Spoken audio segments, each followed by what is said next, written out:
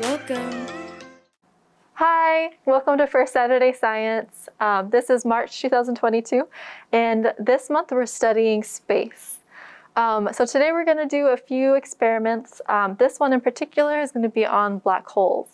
Uh, if you don't know what a black hole is, a black hole is kind of like how it sounds. It's like this hole in space. Um, and the gravity inside of this hole is so strong that light can't escape it, which is what gives it that notable um, black hole appearance on um, photographs uh, of space. And um, black holes have a reputation for being kind of a scary thing a little bit sometimes because they have such a strong um, pull that they kind of suck everything into it.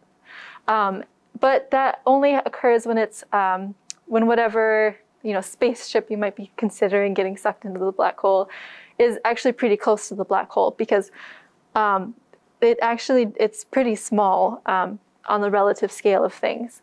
Uh, black holes start as stars, so all the stars that you see in the sky have, in theory, the potential to become black holes. Um, but something very specific has to happen to it, right? The star has to burn out first, and then the star has to become very, very compressed. So when something is compressed, it starts out really big, and then it becomes very, very, very small. And the force of a black hole is dictated by the amount of energy in the small space. So if you have a lot of energy in a small space, it's going to be really, really strong. Um, and that's where it gets that signature um, force of, of pull, uh, where it wants to like kind of pull things into it or towards it. Um, and today we're going to do an experiment. Obviously, we're not going to make a real black hole, but we're going to use balloons um, to represent stars. And um, we're going to show you a little bit about how that black hole kind of comes to be um, based on the specific parameters that it might be under. So here we have our, um, our materials and today we're going to be using some balloons and we're going to use a balloon pump to pump up the balloons. And we're going to use a pen to pop our balloons and some tin foil. Um, so if you want to get those materials ready, you can pause the video and grab them. Um, right now, we're going to get started, and I like how shiny these little white ones are, so we're going to use these ones. And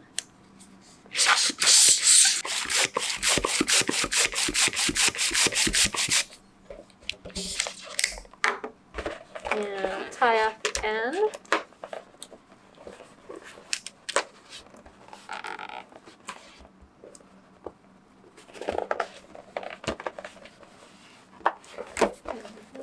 There's one balloon. I'm going to set this aside for just a second.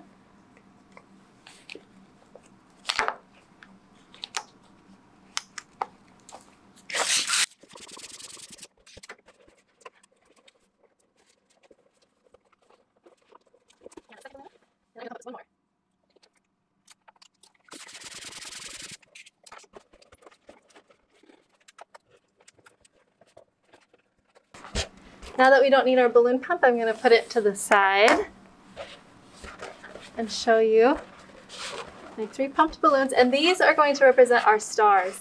So stars will have a, a set amount of um, pressure in their system that kind of gives it this um, mass, just like balloons. Um, they stay full because it's filled with air. Um, and so the air is going to kind of act like our pressure system, keeping our stars large. And next, you want to make sure to grab some aluminum foil, um, tear off a big enough piece, place it down on your table, place all of your balloons on top of this aluminum foil, and create kind of like a boat so that they don't roll away or float away. After you successfully created kind of this boat thing, you want to make sure that you grab another piece of aluminum foil, place that aluminum foil on top almost like a sandwich.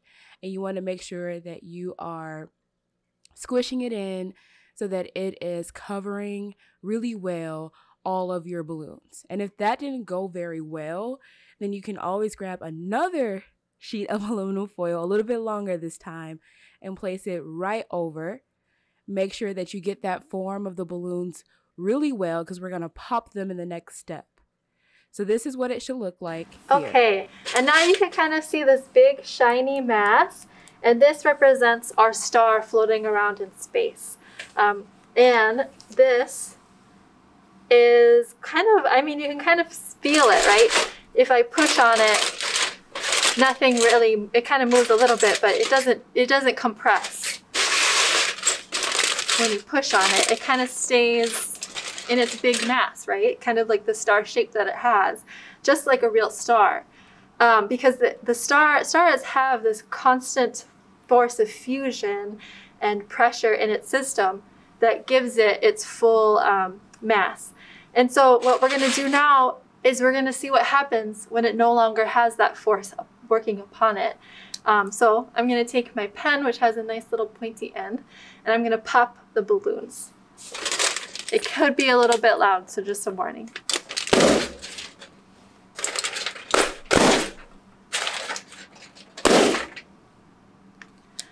Now you can see the balloons are popped, I'm sure you heard. Um, but we still kind of have this big mass, right? So this is kind of what happens when that force of pressure is released in a star. Now what happens when it compresses? Now I'm going to have you squish your tinfoil up into a really tiny little ball because all that pressure is no longer gone. And so the force um, working upon it is actually going to push this all into, into itself.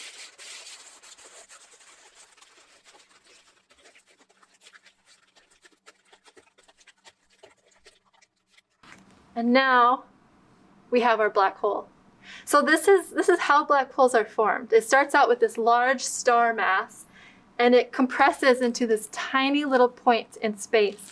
Um, and it has a lot of energy still. And it has um, a huge gravitational force.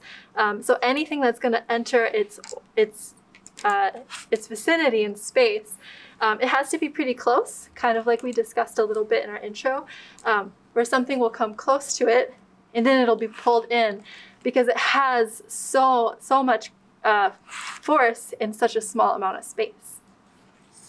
Thank you.